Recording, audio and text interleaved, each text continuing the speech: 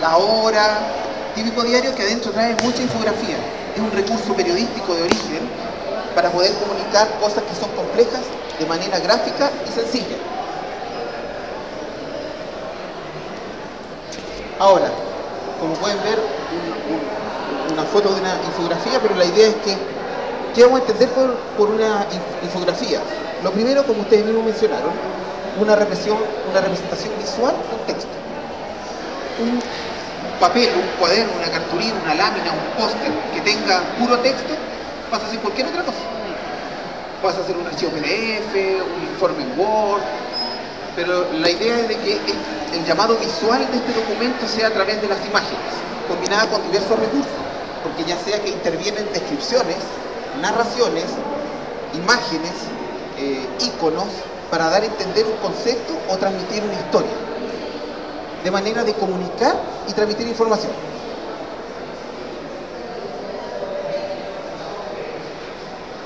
¿Por qué usar una infografía? Y esto como no vengo a vender, vengo a regalar, es como el por qué darle sentido y hacer uso pedagógico de una infografía. Ahora, todo, todo recurso educativo tiene sus pros y sus contras, pero para este caso, encontrando los beneficios de por qué trabajar con, esta dinámica, es que una infografía, eh, siendo un, recurso muy concreto, es más sintética que un video, porque uno lo tiene a la vista. ¿Permiso, profesor? lo tiene a la vista, es un documento, es un archivo digital, pero algo concreto, muy acotado. Eh, es más narrativo que un esquema, porque una infografía permite mezclar entre las imágenes e información concisa y precisa, pero información al fin y al cabo. Un gráfico, un esquema, queda la interpretación de, un externo, un estudiante. Más atractiva que una tabla de datos, si bien los niños tienen que desarrollar sus habilidades de poder interpretar una tabla de datos, la infografía si bien muestra gráficos, al mezclarla con la información y cierto análisis de los datos en versión texto, ya permite un, trabajo mucho más concreto para desarrollar. Más exploratorias que las presentaciones tradicionales, porque uno lo tiene en puro soporte.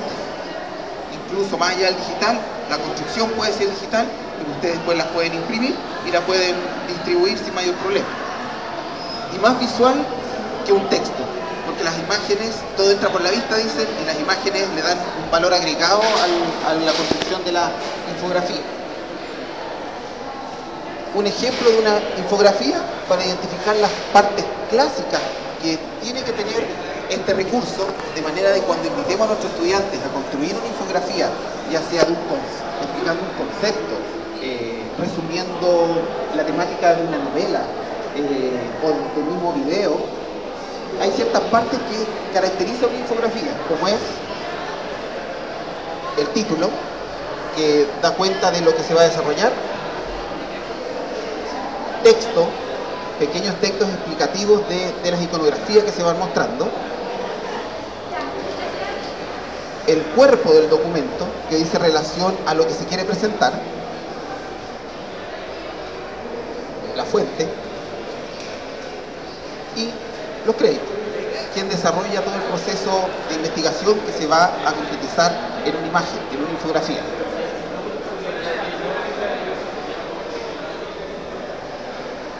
Ahora, como yo les comentaba, la infografía puede ser un recurso digital. Nosotros lo construimos en un recurso educativo, porque como docentes tomamos decisiones pedagógicas para poder cumplir con un objetivo de aprendizaje. Y en los usos pedagógicos de una infografía, vamos a abrir, está una infografía como recurso, como fuente de información. A veces nuestras, nuestras bibliotecas no tienen muchos recursos y el mejor trabajo, el mejor recurso para poder desarrollar un proceso de investigación puede ser compartir con nuestros alumnos varias infografías en la sala de clase, preparadas por uno o bajadas por internet, para poder desarrollar un tema. Motor de actividades para la expresión oral y escrita. Aquí queda la imaginación de las disciplinas que ustedes desarrollen. Si son eh, profesores de inglés podrían hacer que los niños desarrollen una infografía con, explicando los pronombres en inglés, si son profesores de historia, contando un proceso que corresponda, pero la idea es que sea esta hojita con imágenes, con, con información textual y desarrollada digitalmente por un alumno va a ser lo que gatilla otras actividades pedagógicas que ustedes pueden realizar. Facilitador de, la comprensión de contenidos curriculares. Es cosa de pescar los mismos libros que nos entrega el ministerio, están en el colegio, y toda página tiene una infografía. Yo creo que no queda espacio en donde no hay una infografía como recurso medular para aplicar ciertos conceptos. Estimular el repaso de una materia o de un contenido. Vehículo de expresión de creatividad, que lo pueden dejar a la libertad de los alumnos de poder transmitir un concepto, una opinión o una historia, un nuevo modo de expresión visual que puede ser desarrollado por los estudiantes y para los que nos convoca a nosotros ahora, el desarrollo de habilidades TIC para el aprendizaje.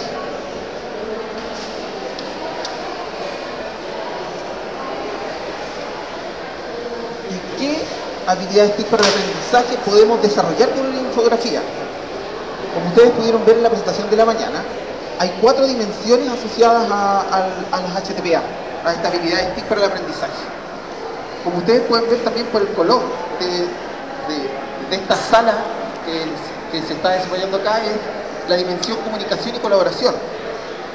Eh, y al revisar el trabajo de la infografía dije, sí, la infografía cumple con la dimensión en la medida que es un instrumento, un recurso para comunicar ideas, para expresar lo que nosotros pensamos o sentimos de una información. Pero eso es acotar la mirada del desarrollo de las habilidades TIC para el aprendizaje.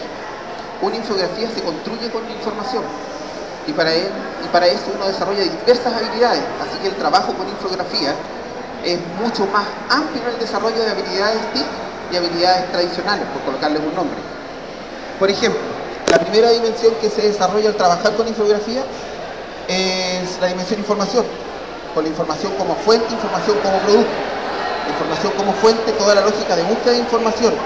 Eh, seleccionar información, evaluar la información, ya sea en texto escrito o en texto digital, Google, como quieran, pero es la búsqueda. La información como producto es la planificación y creación de un recurso para poder apoyar un proceso de enseñanza o de aprendizaje. Así que con infografía, más que superar la etapa de trabajar ciertas habilidades de la dimensión información obviamente la dimensión comunicación. En cuanto, si mezclamos esta dimensión con la de búsqueda de información, hay una habilidad que es la de planificar el producto que uno está desarrollando. Y lo mínimo que uno hace al planificar es eh, pensar a quién voy a realizar esta presentación. Entonces define un público objetivo. Y todos nuestros estudiantes, en el marco de las habilidades y relacionadas a la comunicación, es definir qué voy a comunicar y a quién voy a comunicar y por ende cómo lo voy a comunicar. Y en todo ese proceso eh, es el estudiante, guiado por su profesor, el que va tomando las decisiones. Y no necesariamente el producto va a ser algo digital, como hemos mencionado, puede ser una cartulina, una carpeta, no sé, ahí ya queda la imaginación de cada uno de ustedes. Pero ya vamos mezclando la dimensión de información con la dimensión de comunicación también está la dimensión relacionada a la ética, en cuanto para cualquier trabajo con fotografías y recursos digitales textuales hay que referenciar.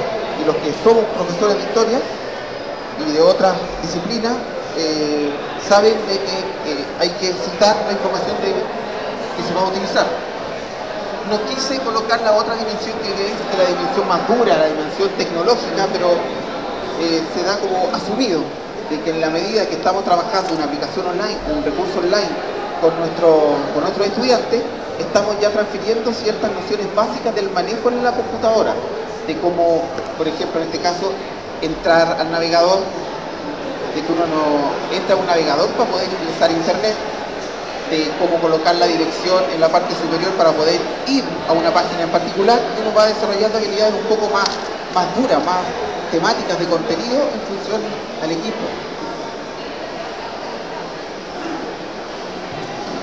Entonces, teniendo claro que la infografía como recurso educativo permite desarrollar muchas habilidades tipo el aprendizaje, la invitación es poder ingresar a la aplicación online deberá estar cargada en cada una de las páginas que es www.eacel.li www.eacel.li